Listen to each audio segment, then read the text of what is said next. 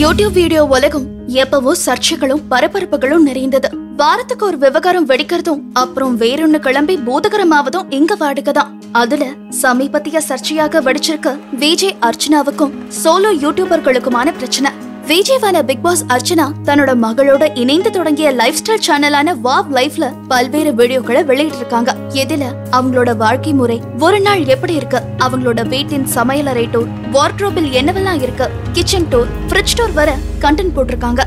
எல்லாமே நல்ல வியூஸ் ஆயிட்டே இருக்கு சமீபத்துல இதோட தொடர்ச்சியா தங்களோட வீட்டோட பாத்ரூம் டூர் வீடியோவையும் அவங்க வெளியிட அதுதான் சர்ச்சையாக இருக்கு.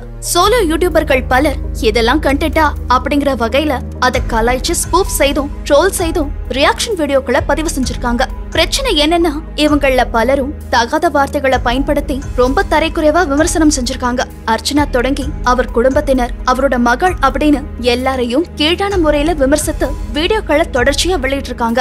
இந்த நிலையில அப்படியான வீடியோக்களை செய்தவர்களுக்கு காப்பிரைட் வயலேஷன் ஸ்ட்ரைக் யூடியூப்ல இருந்து வந்திருக்கு. எவ்வளோ பெரிய சேனலா இருந்தாலும் மூணு முறை இந்த காப்பிரைட் வயலேஷன் ஸ்ட்ரைக் வந்துருச்சுன்னா அது அந்த சேனலையே முடக்கிடும். அந்த காப்பிரைட் ஸ்ட்ரைக் அர்ச்சனா தரப்புல இருந்து வந்ததா பல யூடியூப் சேனல்கள் குற்றம் சாட்டியிருக்கு. இந்த விவகாரம் குறித்து அர்ச்சனா கிட்டேயே பேசணும். பாத்ரூம் டூர் அப்படிங்கிற பெயரை பார்த்ததும் பிடிக்கல அப்படின்னா அதை அமைதியா கடந்து போயிருக்கலாம். ஆனா அதை ட்ரோல் செய்யணும் அப்படின்னு நினைச்சிருக்காங்க.